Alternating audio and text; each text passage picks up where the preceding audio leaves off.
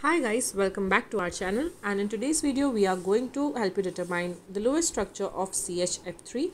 It is a chemical formula for fluoroform and to know its Lewis structure we are first going to look at the total number of valence electrons for this molecule. Here we have one carbon atom, one hydrogen atom and three fluorine atoms. So carbon has four valence electrons in its outer shell, hydrogen has one valence electron and each fluorine atom has seven valence electrons. But we are going to multiply this number by 3 because we have 3 atoms of fluorine. So in total we have 26 valence electrons for CHF3. Once you know that, we have to place a central atom to depict the structure. Here carbon will take the central position because it is least electronegative atom over here. So place carbon in the center and all the atoms will be arranged around carbon atom like this.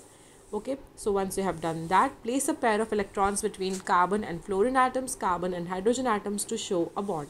So we are going to place that and doing that we will be using up 8 valence electrons out of this 26 electrons that we have and as we all know hydrogen just needs 2 valence electrons to complete uh, its octet and attain a stable structure.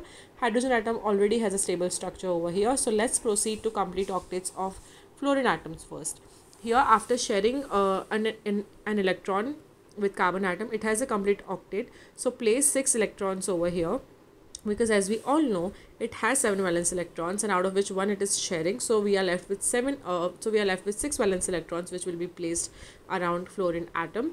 And once you have done that we will be using up all 26 valence electrons which means that we have complete octets for all atoms over here. If you look at the carbon atom over here it has 8 valence electrons in its outer shell which means it has a complete octet if you look at the hydrogen atom over here it has 2 electrons in its outer shell which means it has attained a stable structure and each fluorine atom over here has 8 valence electrons and hence this is the Lewis structure of CHF3 in which carbon forms single bonds with hydrogen and 3 fluorine atoms. I hope this video helps you to understand that and for more such videos on Lewis structure, molecular geometry, polarity of the molecules, make sure to subscribe to our channel and thank you for watching.